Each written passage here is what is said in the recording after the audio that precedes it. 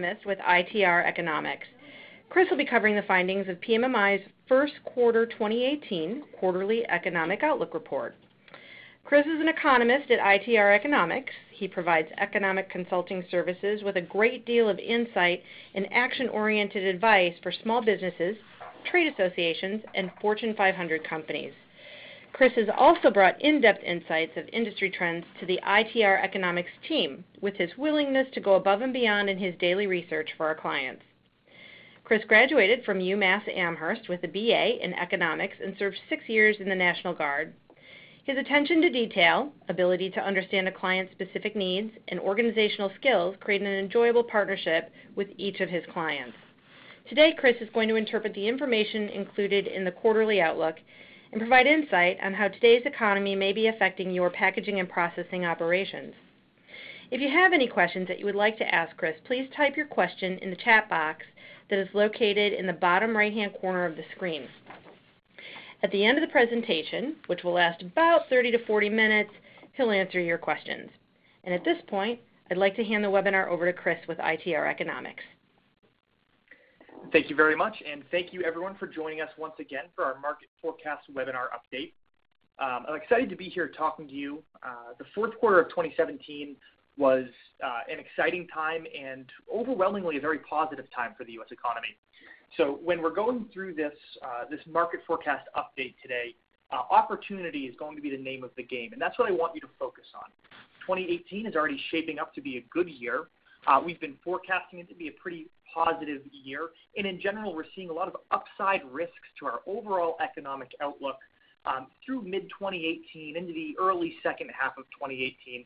So I really want to come at this from a positive angle with a lens of optimism uh, so that we're able to take advantage of that rise uh, before we finally look at some of the political happenings that have been coming out of Washington and Capitol Hill, before jumping into some more specific uh, packaging and processing specific industries.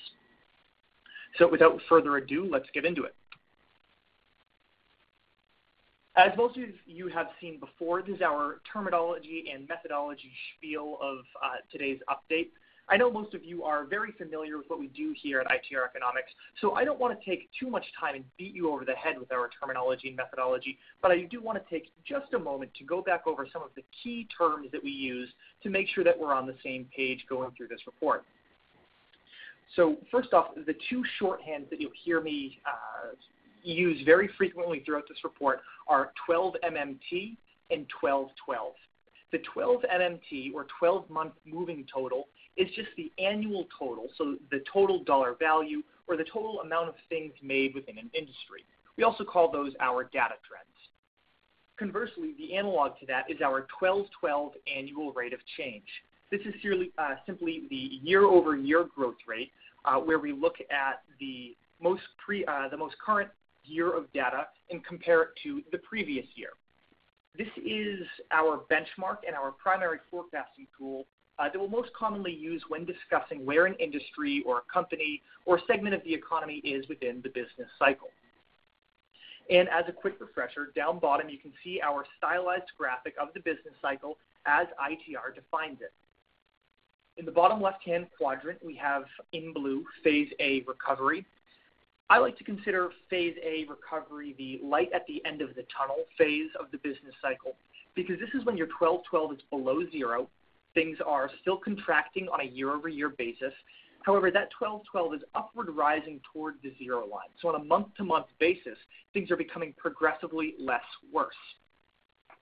Once that uh, 1212 rises past the zero line, we get into that green territory. We're in phase B, accelerating growth.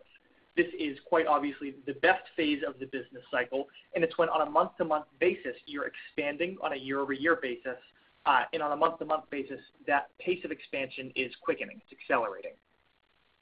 Once that 12-12 peaks, we transition over into the top right-hand uh, quadrant in yellow, phase C, slowing growth. This is still a positive phase of the business cycle. Uh, sales or whatever metric we're looking at are still uh, above the year ago level. However, I like to consider it the cautionary phase of the business cycle because this is when that pace of expansion is beginning to slow. On a month to month basis, things aren't quite as good as they were the month before. and the primary reason that it's cautionary is if that 12-12 continues to fall toward that zero line and into negative territory, we transition over into phase D recession. Uh, I don't need to define that for any of you. I'm sure we're still uh, you know, acutely aware of what recessionary pressures are. Uh, so let's jump into the meat of today's report. For those of you who have been following ITR economics for some time now, this slide uh, won't be new to you. This is U.S. industrial production, and it's one of our primary benchmarks for the U.S. economy as a whole. On the left side in dark blue, you see the 12-month moving average, that 12 MMA. So that's the total amount of stuff being produced within the industrial sector. And as a catch-up, the industrial sector uh, comprises mining, manufacturing, and electric and natural gas utilities. You can see that we came out of a pretty tight recession in late 2015 through most of 2016. Uh, we are currently above the year-ago level in a Phase B accelerating growth trend, and industrial production is up about 1.5% year-over-year. The finalized data for 2017 hasn't been calculated yet, but when it is, we expect it to come in somewhere around 2.2% year-over-year. That Phase B accelerating growth trend is going to persist through mid-2018 before ultimately slowing during the latter half of the year but 2018 is still going to be good. It's going to be up about 1.1%, followed by a minor industrial recession in 2019, when we'll finish the year down just about 1.2% year over year. Now, if you have been following along with our forecasting uh, for some time now, you know that we were expecting an early 2018 peak uh, in the U.S. industrial production growth rate. So we expected that phase C slowing growth trend to take hold by 2Q18. Uh, however, as I mentioned, the fourth quarter of 2017 injected some pretty significant optimism into our outlook for 2018, and now we expect that accelerating growth trend to, accept, to persist through mid-2018. Overall, our forecast remains almost identical to what it was. We just expect that uh, accelerating growth trend to persist one, maybe two quarters longer. The ultimate takeaway, though, however, is that by 2018, uh, or excuse me, by the end of 2018, things will not be as good in the industrial sector as they are now. Let's take a look at a few of the key leading indicators that have caused us to mildly adjust our expectations for 2018. Here we can see in blue, once again, the U.S. industrial production 1212. Uh, and in orange, we have the U.S. total industry capacity utilization rate. This is a measure of how much of the equipment and machinery and trucks uh, are currently in use in the United States. You can see that that utilization is rising. It did tick down earlier this year before jumping back into a robust Phase B accelerating growth trend. And right now, this is signaling acceleration in the U.S. industrial sector through the second quarter of 2018. The ITR leading indicator doesn't want to shift right on our screen right now, unfortunately, and I apologize for that. However, you can see that again in orange, the ITR leading indicator, which is a proprietary leading indicator uh, developed and maintained by us here at ITR Economics, is again signaling uh, phase B accelerating growth through the second quarter of 2018 and some mild positivity into uh, as late as the third quarter.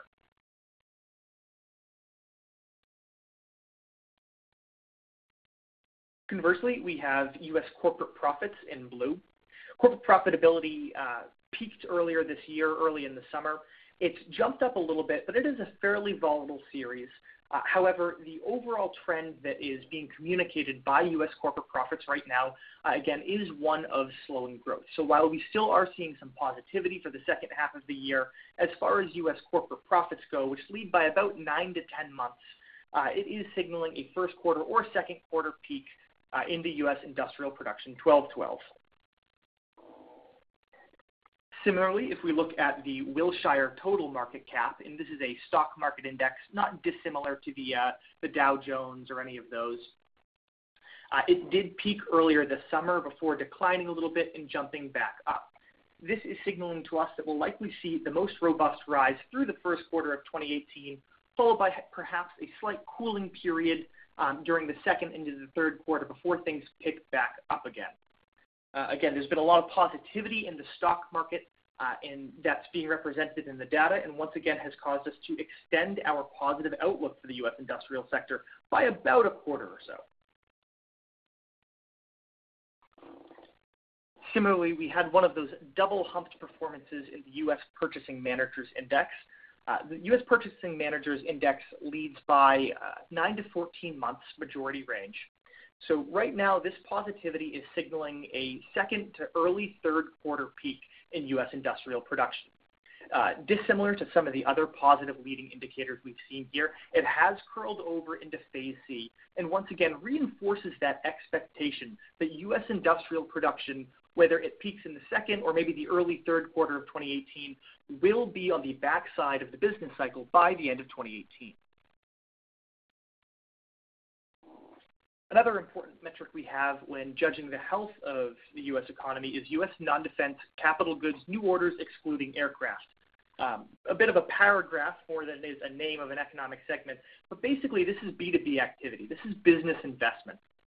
Uh, once again, you can see that it was in a pretty prolonged recessionary trend for the majority of 2015 and 2016. However, uh, in early 2017, it did transition back to that phase A uh, recovery trend. We've transitioned to accelerating growth over the past two quarters, and we're currently up about 4.5% year over year. We expect that acceleration to persist through early 2018 into the second quarter of 2018, finishing up about 5, 5.5% year over year. If you can see in this light gray line that's superimposed over this, that's the 312 rate of change, and it's currently upward rising and outperforming the 1212. That's signaling upside business cycle pressures and supports our expectation of one to two more quarters of acceleration in B2B activity. That recession that I mentioned in capital goods new orders during 2015 and 2016 and this won't come as a surprise to any of you, I'm sure, at this point, was primarily due to commodity price shocks. Uh, we saw steel prices, coal prices, oil prices uh, really fall off a cliff in 2015, and that deflationary environment translated over into B2B activity. Uh, consumers aren't stupid. They know that when commodity prices are falling, uh, producers are able to make more for less, and they demanded price cuts uh, in response because capital goods new orders are a dollar valued segment of the economy, this represents that we weren't selling fewer capital goods, we were simply selling them for less. So it was a deflationary environment that drove that weakness. Similarly, you can see that uh, a large basket of base commodity metals uh, that we have here are all up year over year. Copper is up 29%, zinc 29%, aluminum 23%, lead 19, steel 8, tin just about even with uh, the prior year. The one I want to focus in on here is copper prices. The old adage is that copper is the metal with a PhD in economics, and primarily that's just because it's so widespread from industry to industry. Anything that makes use of electronics um, or digital equipment is uh, most likely going to have a significant amount of copper in it, and because of that, it's very reflective of wider movements uh, within the economy at large.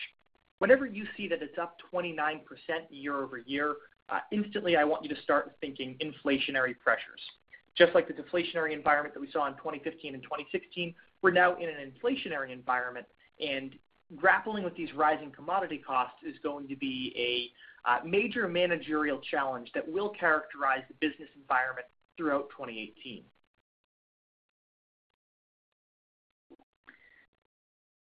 There's been a lot of talk about uh, politics and Washington's impact on the economy uh, as of late, and it's important to discuss what's going on in politics and how that's going to reflect over onto the economy at large. Um, obviously, we've seen a landmark uh, tax bill and corporate tax cut passed in recent months, and we've had a lot of questions about what that means for business investment in the U.S. and what that means for the economy as a whole. So let's take a look. There's a lot going on in this screen, so I want to break it down to you line by line.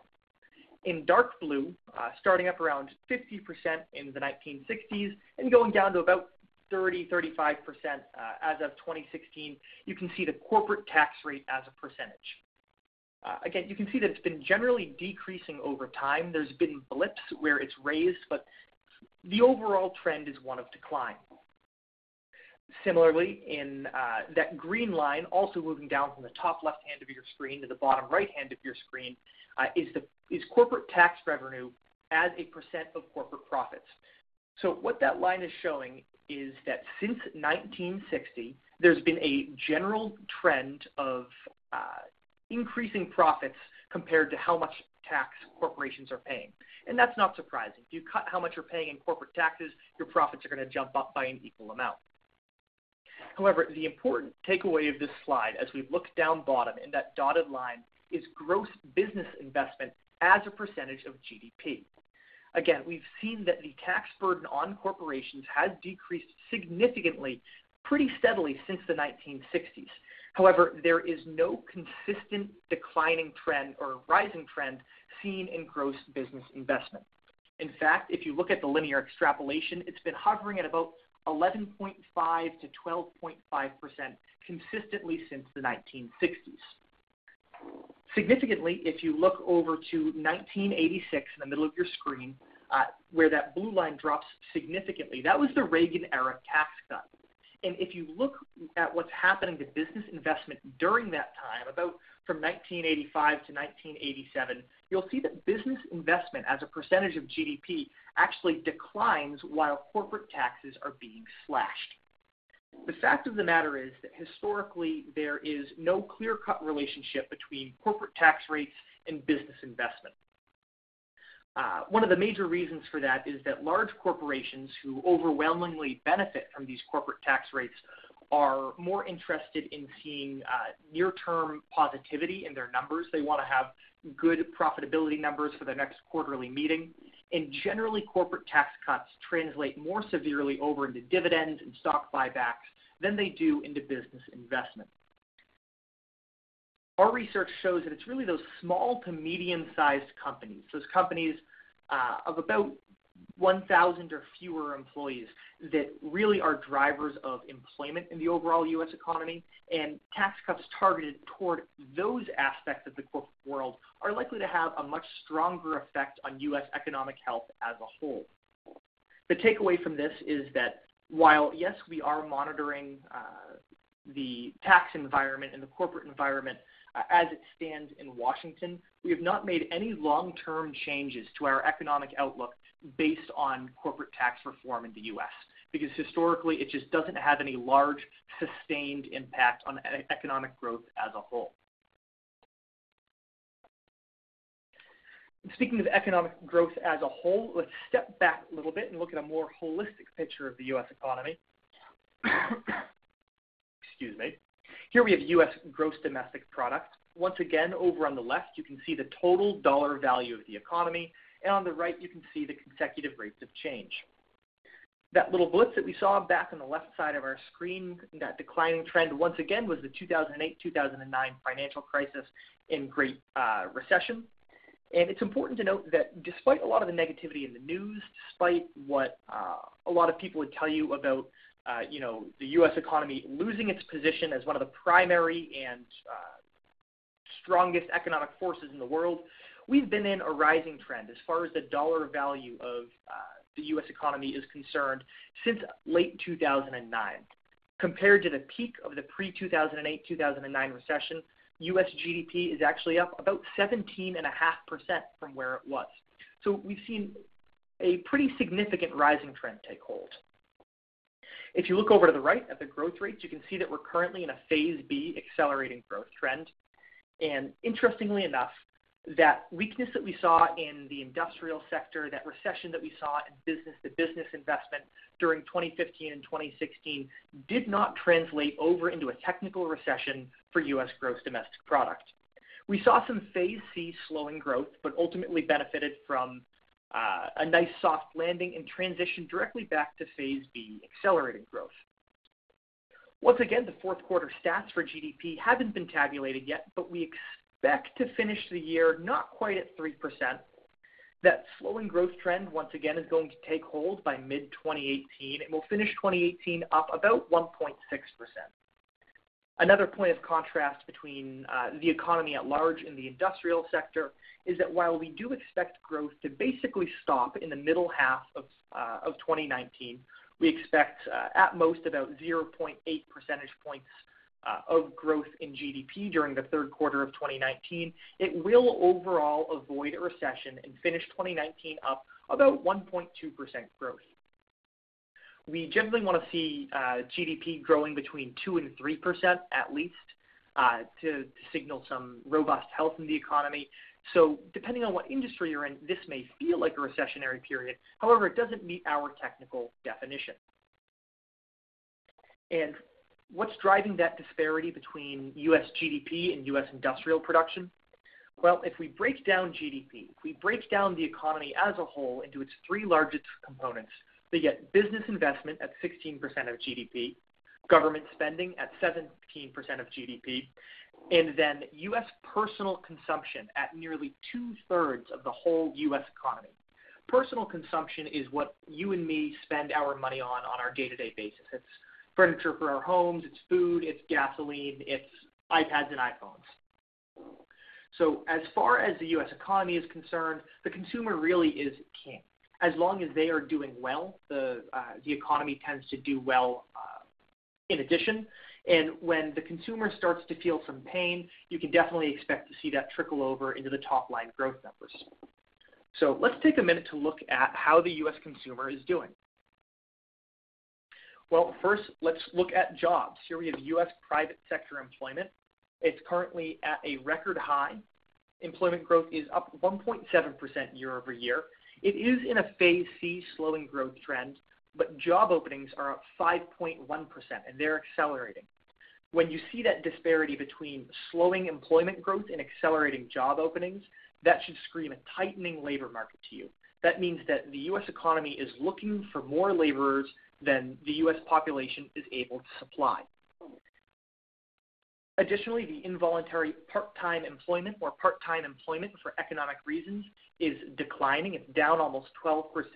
And that's great to see because in the wake of the 2008 financial crisis, we really saw involuntary part-time employment skyrocket, where people lost their full-time, uh, healthy jobs and were forced to take on one, two, sometimes even three part-time jobs just to make ends meet. In the long term, those aren't viable uh, jobs to encourage consumer spending. And as a result, we don't like to see those numbers rising as it means that the U.S. consumer isn't doing very well. Additionally, as the labor market tightens, the quit rate is rising. That signals not only a healthy consumer, but a confident consumer. The consumer is very aware that wages are rising. They're aware of the tight labor market, and they are hopping jobs looking for their dream job or their dream location as a result. As I mentioned before, you can see that as the labor market tightens, we've seen rising overall U.S. wages. And in green here, you can see the uh, percent change, the rate of growth of wages. Uh, it's up at about 3% right now. Uh, not as severe as we saw prior to the 2008 recession, where we saw about 4% uh, growth in overall wages, but still enough to uh, beat out inflation and help to uh, drive rising disposable personal income for the U.S. consumer, which is going to get them out and spending money, which is what we like to see. However, you can see that uh, overall wage growth actually peaked in its pace of rise in late 2016 and has been marginally decelerating ever since. This is one of the risk factors that we're monitoring uh, that is driving our expectations of cyclical decline in 2019. As wages begin to slow and inflation rises, uh, that means that the U.S. consumer's purchasing power is going to start being eaten away.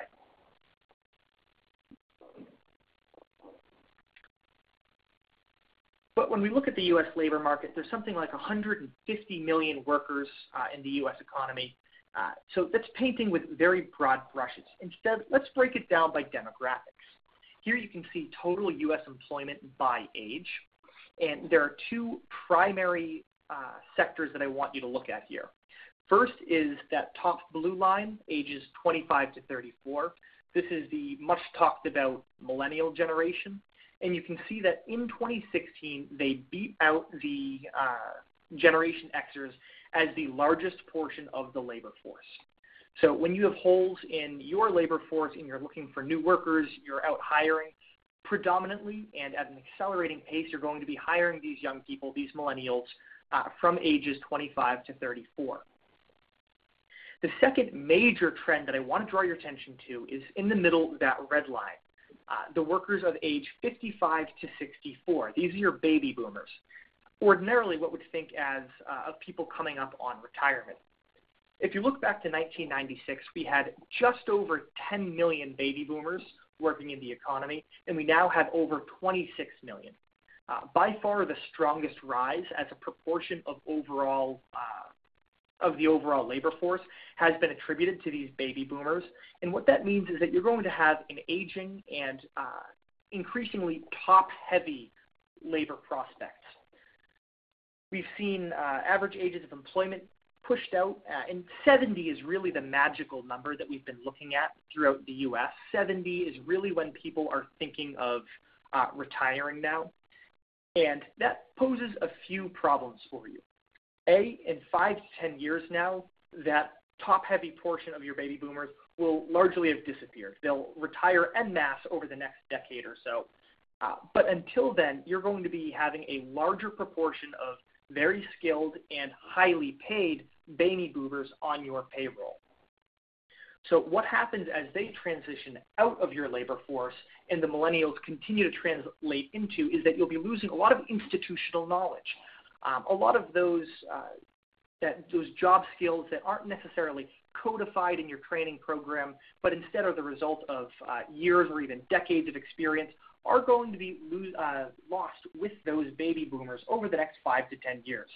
So it's very important that you find a way to connect that 55 to 64 age group with that 25 to 34 age group and facilitate a transfer of knowledge. That way there aren't large holes in your institutional knowledge among your labor force over the next five to 10 years, and that those uh, millennials, 25 to 34, as they approach that 35 to 44 age, are ready to move up the corporate ladder and replace those retiring baby boomers.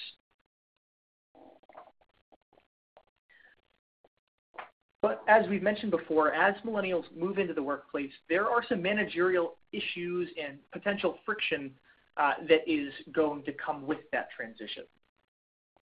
Uh, a 2016 study by Deloitte found that 66% of millennials plan to change their job in the next five years.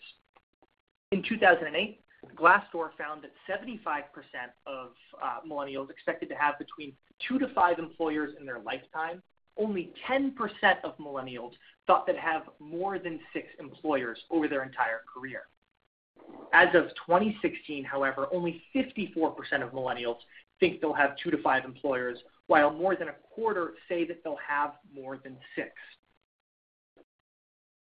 A lot of this stems from uh, the millennial generation uh, moving into the workforce during one of the worst recessions we've seen since the Great Depression.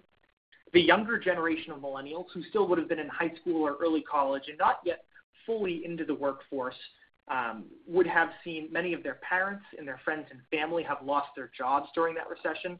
And a lot of the older half of the millennials would have had trouble finding their jobs or been laid off similarly as they were just getting started. Because of this, they tend to be a little more cynical uh, toward corporate um, uh, toward the corporate outlook on staying within one job and one employer for a long period of time. Add in historically low home ownership rates and historically low marriage rates to the millennial generation, and that means that they are very mobile labor capital. They don't have houses tying them down, they don't have families, they don't have kids who they don't want to uproot from their school districts. And because of that, they are very willing to jump around, they are very willing to move, and you have to target them aggressively. There are a lot of ways you can do this from a managerial standpoint. Historically, it has been wages, wages, wages when we talk about labor force retention and acquisition. However, in that regard, the millennials are a different generation as well. Uh, they've shown that they actually value job satisfaction and job growth prospects more than they value uh, in, uh, wage growth. And so there are a variety of different non monetary forms of compensation that you can look into offering to your younger portion of the workforce in order to keep them on, get your retention numbers up uh, without impacting your top line too heavily. These non monetary benefits are things such as uh, lax dress codes. If you think of the Silicon Valley culture, people want to show up to work in sneakers and a t-shirt. If you're in a not highly professional or not highly client facing position where that's possible, that's an easy way to make people happy with their jobs at no expense to you. Similarly, uh, allowing flexible hours uh, and focusing on results over productivity will help to retain those millennials as well. The long story short is that as commodity prices rise, as labor prices rise, and as we can see, as inflation rises, you're going to be facing significant increases in your cost base over the next year to five quarters, which will threaten your profitability. And you have to take actions to try and mitigate those price rises wherever you can by cutting costs. You can see here in orange we have uh, the US CPI, the Consumer Price Index. It's up about 2.2%, which is considered a very healthy uh, pace of inflation for the US economy. However, that's more targeted toward what me and you feel in our everyday life as we go to the grocery store, as we go to Best Buy. As an employer, as a business owner or manager, what you should be worried about is the U.S. Producer Price Index, which is seen here in blue. That's almost double the consumer pace of inflation at 4.3%. And this is largely due, again, to those rising labor costs and those rising commodity prices that we have taken up. If you do not take costs to either pass on price increases to your consumers uh, or find ways to cut your costs uh, faster than this inflation takes place, you are going to be uh, risking what we call uh, zero profitability growth over the next year. Uh, your top line is going to be moving up, but only as fast as your bottom line is, uh, and you're not going to see any real rise in profitability. What's important to look at is where your prices are going and how your cost structure is focused within your consumer base. What's nice is that most corporate consumer bases tend to follow the 80 20 rule. That is, 20% of your consumers generally account for about 80% of your profits. So when you're looking at raising your prices, don't do it indiscriminately. Don't do it above board because you'll be threatening a lot of your profitability by scaring off uh, your consumers and threatening your market share. Instead, look at that 80% of your customer base that is only responsible for about a fifth of your profits and see are they marginal customers? Are they just breaking even? Are they losing you money? This is where your price increases should be targeted. You will lose customers here. They tend to be the most price sensitive. But if you're just breaking even or if you're spending money on these customers, it's better to lose them and see your bottom line uh, rise than it is to keep them and threaten your profitability in order to see top line revenue grow.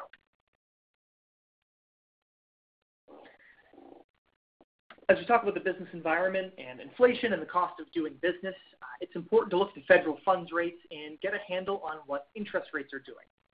Uh, here you can see our esteemed chairs of the Fed over the last few de- decades, from oldest to youngest, with Yellen taking the helm on the right.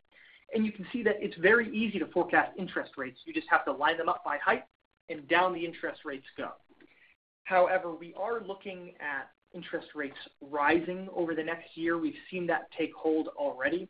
We'll have to update this slide, but luckily the new chairman of the Fed is about six and a half feet tall, so that confirms our expectations.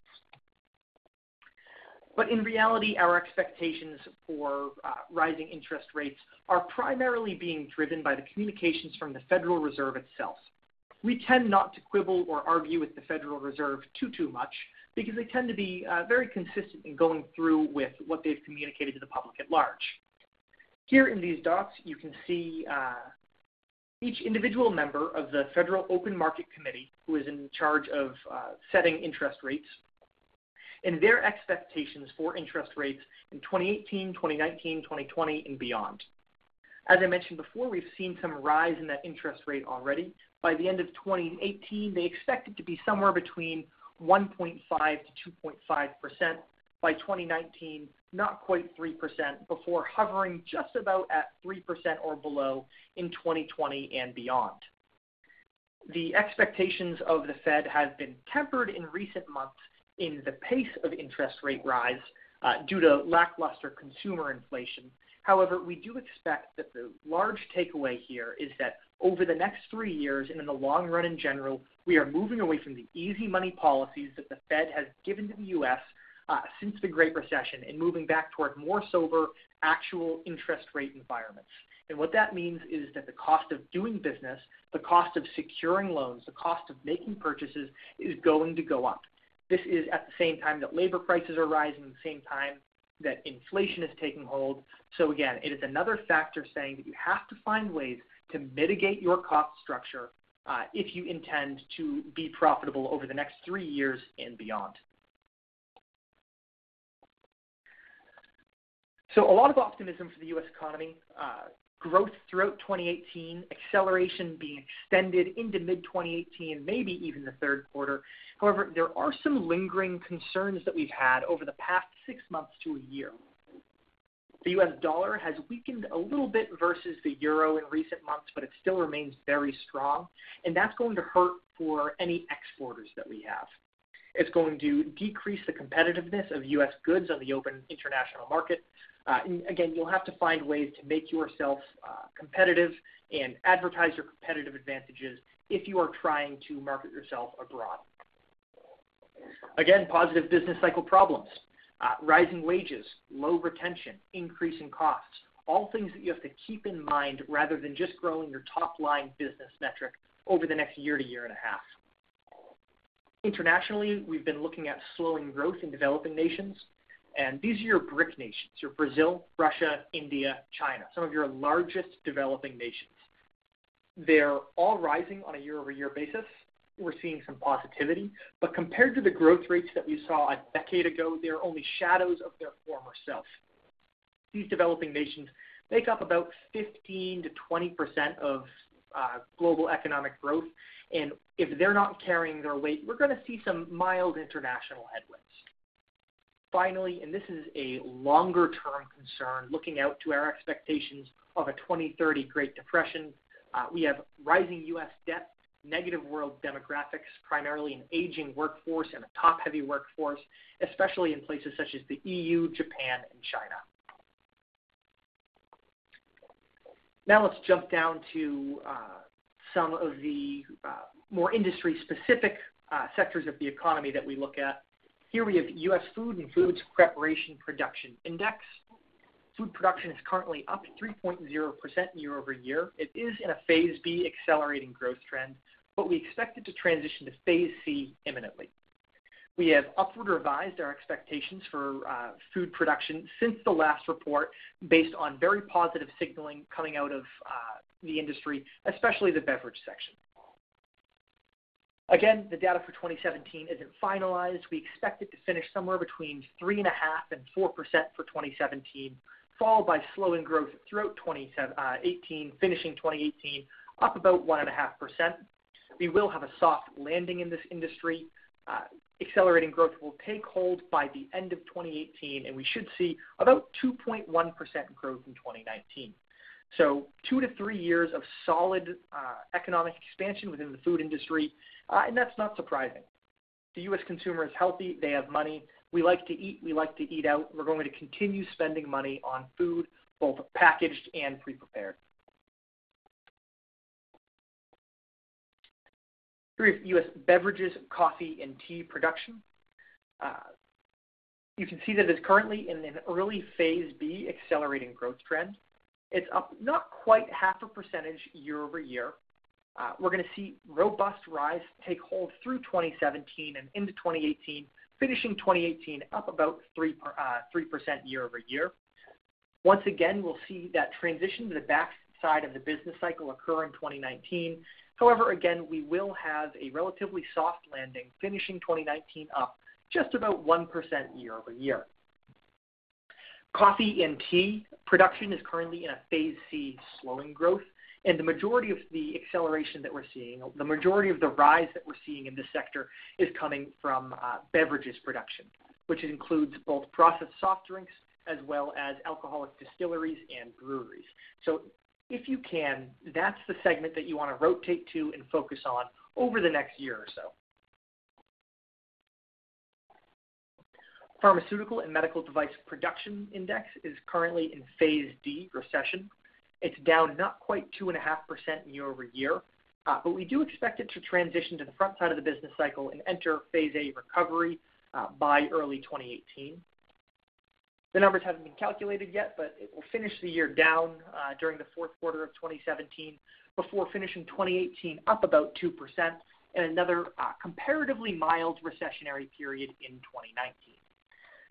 Expect to see some weakness uh, in this industry as really the the very fabric of U.S. healthcare as it exists now is in flux, and both producers and consumers of medical devices Um, and pharmaceuticals are uh, uncertain as to what the future holds, and they're not likely going to be building um, any large, significant stockpiles over the next year or two.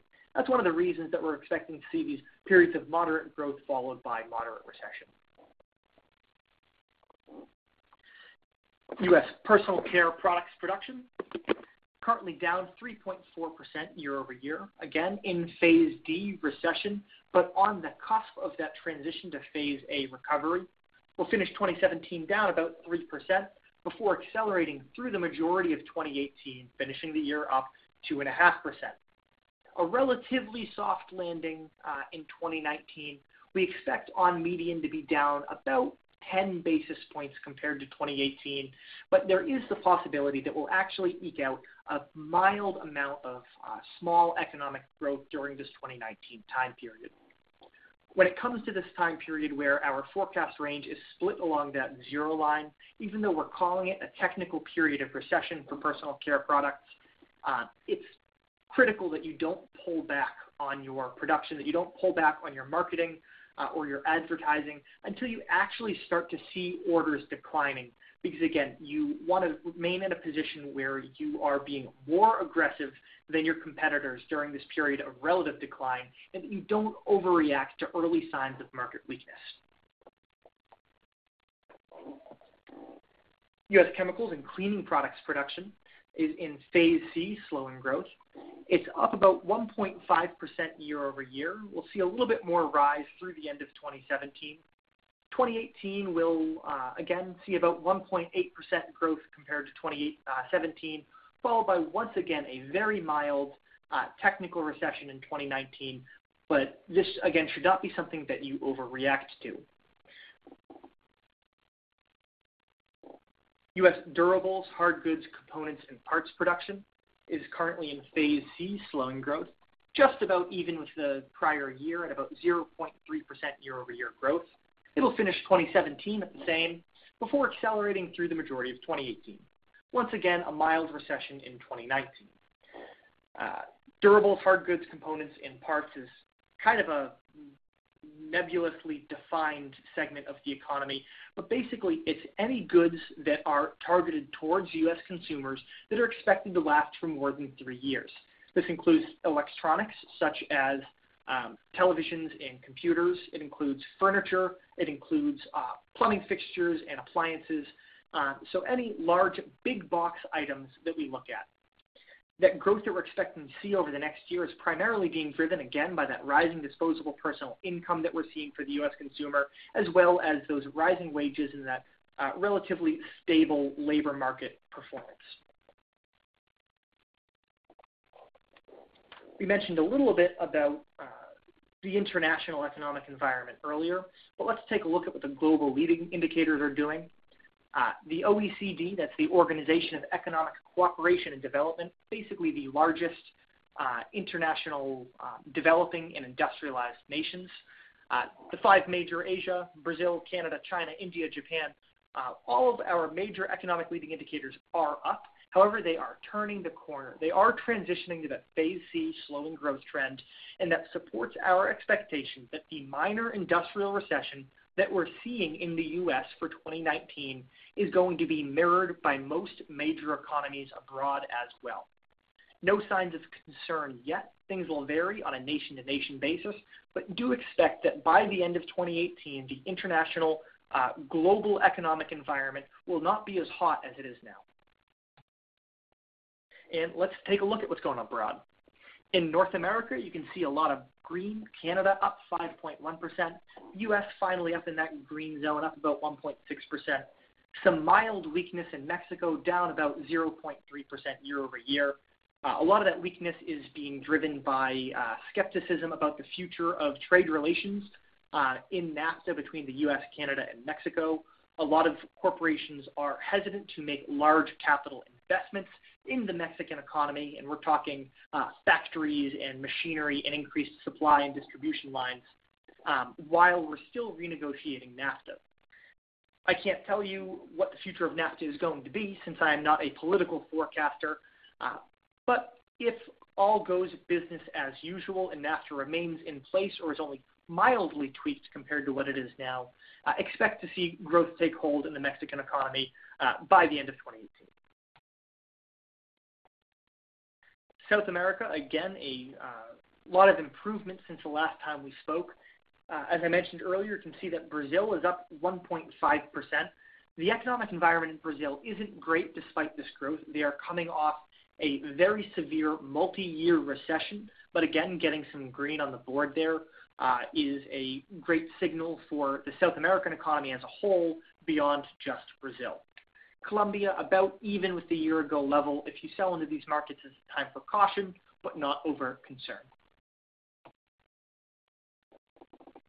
Europe, again, green almost across the board. Uh, major difference between the last time we spoke, if you look up into Norway, Sweden, some of the Scandinavian countries, there was some red on the board just one quarter ago. They have transitioned to a mild rising trend as oil prices continue to rise.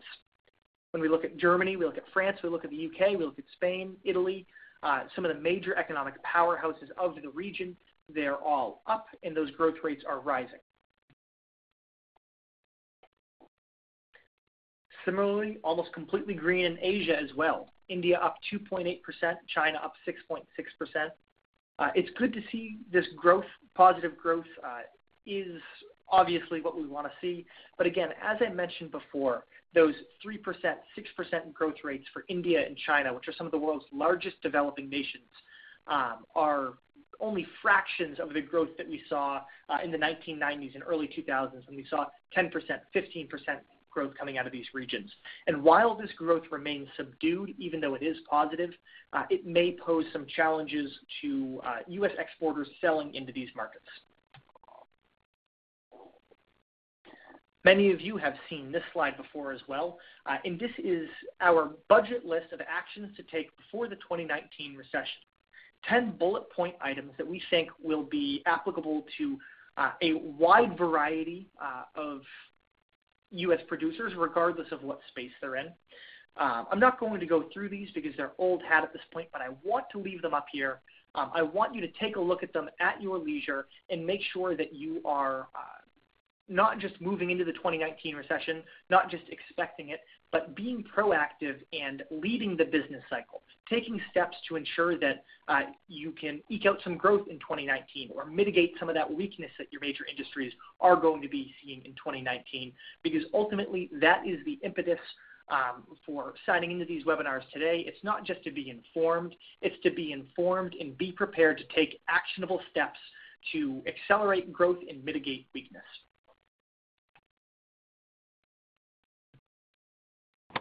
I appreciate all of your time uh, here today, and I thank you for attending our first quarter economic outlook. Uh, as always, if you would like to subscribe to ITR's uh, monthly economic updates, where you get brief bulletins regarding the health of the U.S. economy, please email updates@itreconomics.com. Thank you very much. And I believe I will be turning it over to Rebecca for questions. Chris, thank you for the great reflection of the current economy and the issues at hand for the packaging and processing industry. I would like to open up the session for questions.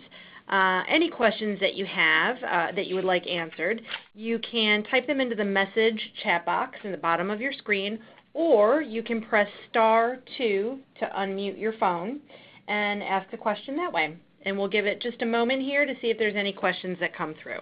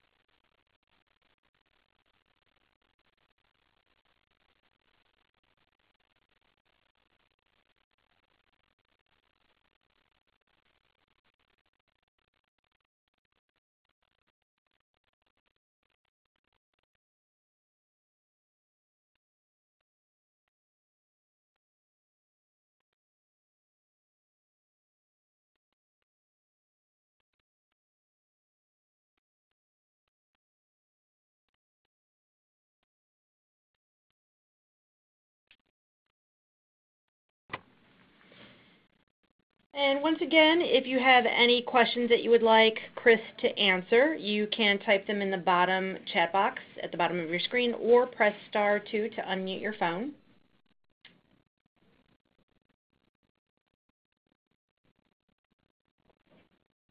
And at this time, and it looks like we, yeah, go ahead, Chris. I was just say, while we wait to see if any questions come in, um, I just want to remind everyone that if you have any questions um, that you don't feel like bringing up now or that pop into your head at a later date, um, feel free to email questions at itreconomics.com with the subject line PMMI, um, and either I or one of my colleagues will get back to you. Um, and to everyone who's who's attending the webinar, you may also email um, myself or Paula Feldman with any questions, and we will be happy to pass them on to Chris and his colleagues at ITR. Um, it doesn't look like we have any questions at the moment. Uh, it's probably because this was a great presentation, Chris. Thank you very, very much. Uh, on behalf of PMMI, thanks everyone for participating today. As a final note, you'll receive an email to complete an evaluation on today's webinar. Um, this really lets us know how, how we're doing and if there's anything that we can change. So it would be great if you could complete that brief, brief evaluation. Um, and within a day or two, this webinar will be posted on pmmi.org, so you can go back and review anything that you'd like to see again. And uh, thanks everyone for attending, and have a great day.